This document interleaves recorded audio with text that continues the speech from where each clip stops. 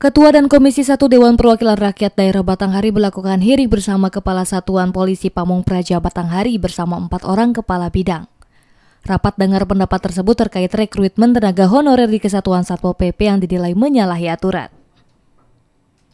Rapat ini dipimpin oleh Ketua Komisi 1 Jakfar dan dihadiri langsung oleh Ketua DPRD Batanghari Mahdan. Dalam hearing tersebut, Ketua DPRD Batanghari Mahdan dan beberapa anggota Komisi 3 lainnya terlihat marah sementara pihak Satpol PP hanya diam. Dari hari tersebut terungkap pemberhentian 11 orang tenaga honorer Satpol PP terkait perekrutan anggota baru. Sudah dicadangkan sebanyak 11 orang akan berhenti, 11 orang akan masuk. Ya. Ini yang kami inikan, Pak. Kalau misalnya Bapak udah tes urin, kapan, Pak? 6 bulan lewat. Dia sudah ngambil apa kelakuan baik, kapan? Tiga bulan yang lewat. Hebat nih. Tahu nih Pol PP mau buka nih, langsung. Sudah tahu. Berarti sudah tahu Silakan Pak Bapak memberhentikan 31 eh 11 orang kita tidak persoalkan karena itu hasil evaluasi dari Satuan Raja. Ya.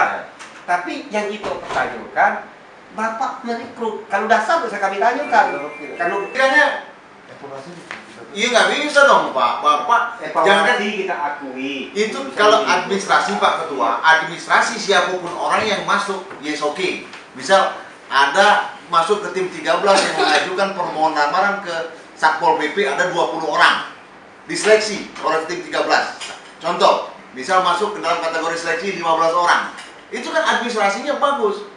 Ini kan tidak ada lagi uh, tes baik Kepala Kantor Satpol PP Ahmad Haryono yang diminta penjelasan terkait hal ini terpantau melempar bola kepada tim 13 yang merupakan tim yang dibentuk Bupati Batanghari untuk merekrut dan memberhentikan tenaga honorer di lingkup pemerintah Kabupaten Batanghari.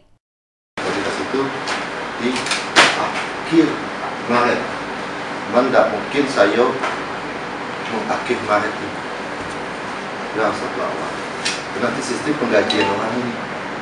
Itu saya lihat gajet Nah gini Pak, Pak orang itu betul. Dalam hasil akhirnya Dewan mengeluarkan rekomendasi untuk tidak mengakomodir gaji 11 tenaga honorer yang baru tersebut, terhitung mulai pembahasan APBD perubahan nantinya.